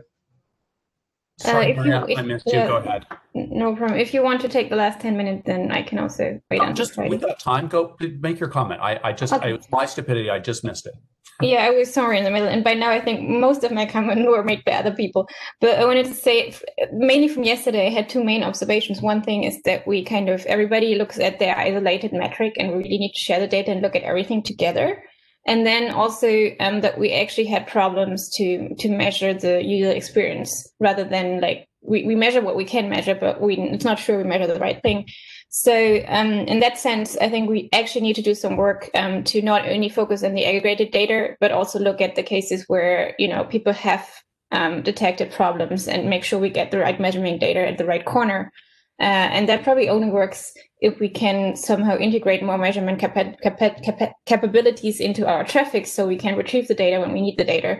And then also have some kind of more automated way to share the data. Like you don't have to put all the data to everybody, but you have to collect the data at the endpoints or whatever and then make them available when you need them and make it in an automated way because coming together in a, in a call like this and just talk about it doesn't work all the time and is very slow. So that's where we could do some protocol work, I think. And one minor point where I don't have a solution to it all is also somebody made the comment that we just measure uh, what how the network is used, but we don't have a way to measure how the met, how people would like to use the network. So you know what's missing, like what what what's the additional capacity, what's the additional thing people need, and that's more a social question than a technical question, maybe, but it's also an important point. Those were excellent points. Um, so actually, before we jump to, to Friday's schedule, anyone want to jump in with a last comment? going, going, gone. Okay, so I'm handing it over to you for tomorrow for Friday's schedule. We have Lixia now. oh nope, sorry. There's ah, I'm so Lixia, please. I'm so sorry being an outlier. Uh, take you two more minutes. So I think it's, it seems that there's a big focus about, hey, can we push? If we can do that, it seems that that's our only job. Is that the case for this workshop? Just that we can deliver packets. No, no. I mean, I, I'm I'm interested in the experience we can deliver, not not not the packets. so I think like some of the comments I made about like sharing uh, the actual experience at the user and measurement data from the user, whatever, it does apply also to higher layer protocols and potentially even to security uh, problems we have. So we maybe can think about it in a broader scope. Um, so, so basically, that's my my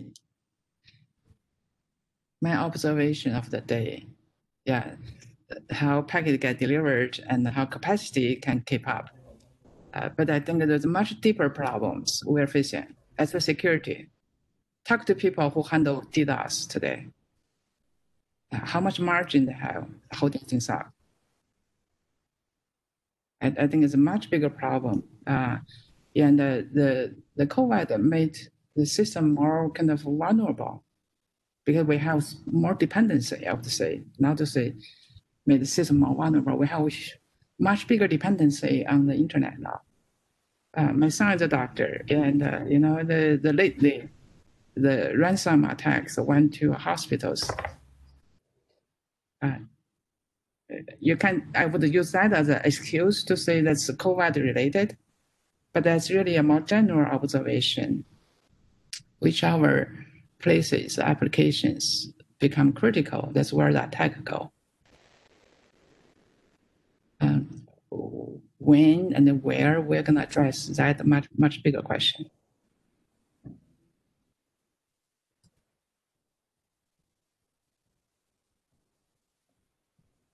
So maybe um, I, I do agree. I think there is a much bigger question we need to tackle. I'm not sure if we can or like i think this was a problem that was there before it just got even more obvious in the current situation but like there have been attacks on hospitals and these kind of things before we knew before that this is a critical infrastructure. Um, there's more work to do but i don't think or like for me the the learnings from like this crisis weren't too too big uh, because i knew before there's a problem so. For me that's a separate problem to tackle i think but this just uh, give you yet another evidence of the severity of the problem. I agree to that. Yes. Yeah. So, I, I think you have one really key point there. Which look, all of these security problems that we've seen in COVID, every one of them, pretty much we've seen before that, the scams, the fraud, everything, variants of them. Right. Your point was that, that I think the most important point is that the internet has become more critical than ever before during this time. Right. That there was an actual shift for a lot of the population. I mean, that part of the so uh, i even agree to that point because like people notice it right? Like they they they have been using it every day right? But like if we would have had an, an internet breakdown like a year ago that would have been like equally bad for our economy and everything right? So it has been critical before. I agree with all of it the question is whether i don't mean to say this shall solve the problem but shouldn't we use this covid incidents as a wake-up call and start thinking about the big question, not to say solve this at this workshop. Fair. I, I think uh, we should all be solving the big problems. Um, but let me let me just because we've only got five minutes left here, let me jump back over to what are we going to do Friday. So, handing it over to you, Stephen. Okay, so I first of all, I assume we do want to talk Friday because we're kind of running out of time here but let me just pause for a second to see does anybody want to say we should not meet Friday? I'm hearing nothing. Uh, okay, so uh, let's so let's have a session Friday. It may or may not last two hours. I'll give it some thought and have a look through the notes, see if there are topics that are kind of obvious. The observability one and seems like it might be at least. Um, if anybody has other topics, then just if you want to send me a mail, um, I'll send it to the the, the program committee list. Uh, if you have like five minutes worth of slides, we could do a couple of those. Um, and I'll send out a mail or with you know with some suggested agenda tomorrow at some stage. Uh, and if anybody has uh, agenda topics that haven't come up yet that they want to suggest right now, uh, go right ahead. We have a minute or two left. Or if they have a better plan. Um, one agenda topic that I would be curious in, in, getting this group's feedback on, if there's time for it, and this is just not not just my as an individual contributor here, uh, is whether today across many service providers we see whiting out of diff-serv QoS markets, and whether there might be an incentive to not white them all out or allow some to get to go through or just discuss QoS a little bit. I mean, that's a, that's a topic that if we have time for, I would like to talk about a little bit and I'm perfectly happy to put together a single slide that helps explain it. Cool. Uh, so any others not right now or? No, sorry, Jared, yeah. We have Jared and then Jana. Uh, sorry, I was just, I was typing, um, I typed my SQ. Uh, Cullen, can you share that slide with me? Because I'd kind of like to put a counterpoint slide for why service providers have to clear out those marks at their administrative boundaries. Awesome. I'm making a phone call with you later. We'll do slides jointly. Sounds great. Great. Jana? Diff-serv cage fight. Put Cullen and Jared in the room. Uh, um, I was going to ask if, if uh, um, Stephen, I, am assuming maybe you're already planning this as well. Very quickly ask: Are you planning to have some sort of sort of action items coming out of this workshop? Uh, I missed Monday, but I intend to be there on Friday. Um, yeah, I mean, I guess we wanted to identify possible topics to, to work on, any conclusions we can reach. Um, you, the recording for Monday is available. It's on, it's on YouTube, so you can watch it back. Um, there was, I mean, you know, there was a bunch of other measurement kind of topics. Um, yeah, if we can reach conclusions, that would be a good thing. Uh, I think somebody earlier said we should all vote that the internet was great, and we'll probably we'll probably agree on that. Um, but other more more interesting conclusions would be good too. Yeah, I'm thinking more about like concrete things that we could actually do. I mean, we're, we're identifying areas of, that we could work on. I wonder if we could turn those into actually concrete things. But that's a suggestion uh, is that you volunteering to look over the notes for such things and propose them? Yeah, fair. Great. Excellent. So, I mean, yeah, I mean, if you could, if you look over the notes in the pad um, and, and see, I mean, I guess the one that strikes me from today was this observability as a thing to design in, maybe. Um, to think about that some, how to do it in a privacy friendly way, in an efficient way, and so on, a useful way. Um,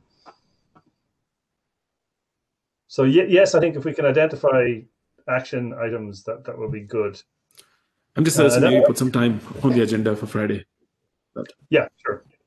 Uh, okay, I don't see anybody else in the queue, and if any, we're at a minute two. If anybody wants to just grab the mic, now's your last chance. Cool. Otherwise, I guess I'll send mail tomorrow at some stage, and we'll all chat again on Friday. Thanks, everybody. Thanks. See you Friday. Thanks everyone for the great session. Thank you. See you Friday. Thank you. Bye bye. So.